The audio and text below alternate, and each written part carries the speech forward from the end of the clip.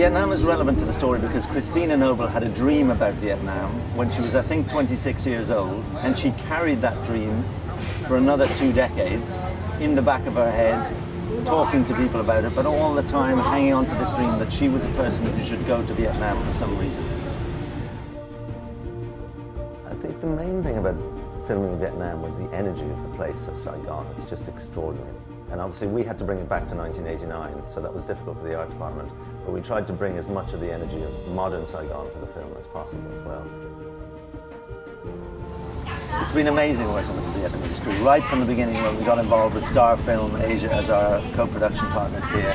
At the beginning there was a bit of culture shock, there's always a bit that's lost in translation, but we've been with them for so long now that, that that's just a source of comedy now rather than a source of irritation we have a large Vietnamese crew working because that's the way it works. So you've got to have a large crew working with you to ferry you around the city, to keep you safe in the city, to provide all the props and the action vehicles and all of those. Full of humor, it's full of life. Um, it's the story of the triumph of the human spirit over adversity. It's all these things. Um, Deirdre O'Kane, who is playing Christina Noble, the great woman herself we have a, a, a long-standing uh, performance relationship.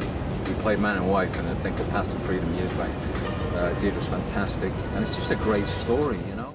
When I met her and saw that she was a very funny woman, that's when a penny dropped in my head.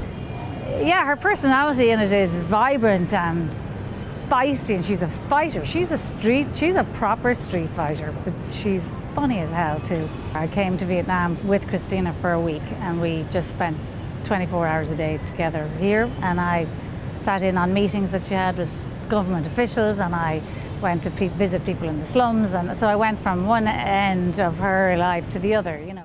So when we started trying to cast for that middle Christina, we we looked at lots of lots of people, but the very moment that Sarah Greene came in in the casting session, she she was so she has such a remarkable uh, resemblance to, to Deirdre, we all knew it was going to be Sarah. When she sings, she is so beautiful. So I read the script and just fell in love with it, just didn't really leave me.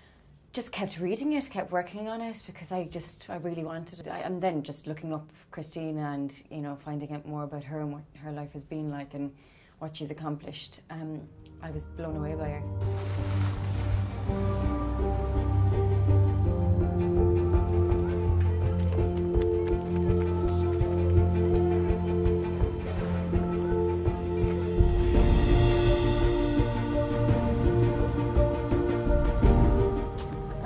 Gloria Maria Cramer Curtis, and I play Christina Noble, the young Christina.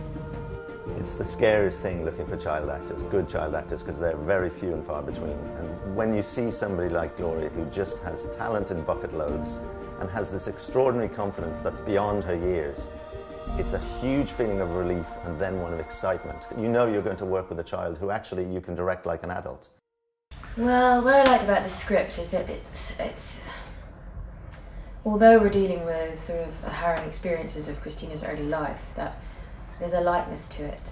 You know, I know Stephen was very um, adamant that there should be like a brightness and a hope that infuses this film because that's Christina's message is one of hope definitely and she's not a dweller on her painful experiences and that those painful experiences can be transformed into something wonderful and beautiful.